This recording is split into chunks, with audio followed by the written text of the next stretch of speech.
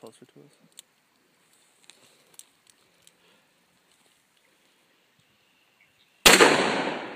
Holy cow. What? Yeah. Alright. Yeah, that's good.